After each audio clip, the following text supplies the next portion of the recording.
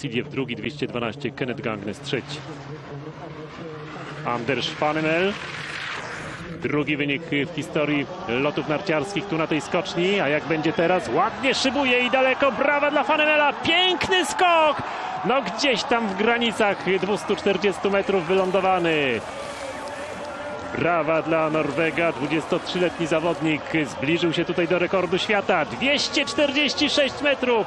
Tylko pół metra zabrakło do osiągnięcia jego rodaka Johanna Remena Evensena sprzed 4 lat. Nowy rekord życiowy. Drugi wynik w historii narciarskich skoków. Anders Panemel. Fantastyczny skok na odległość 246 metrów.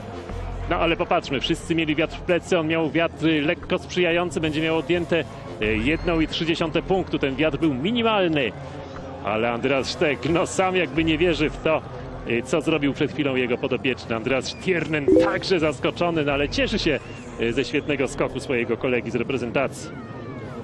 Anders Fanemel w tygodniu rozegrano Mistrzostwa Norwegii, był drugi, przegrał z Andersem Jakobsenem na Holmenkollen. Oczywiście pewne prowadzenie w tych kwalifikacjach. Y, Czy będzie jakaś korekta platformy startowej? Myślę, że nie, bo warunki są bardzo dobre.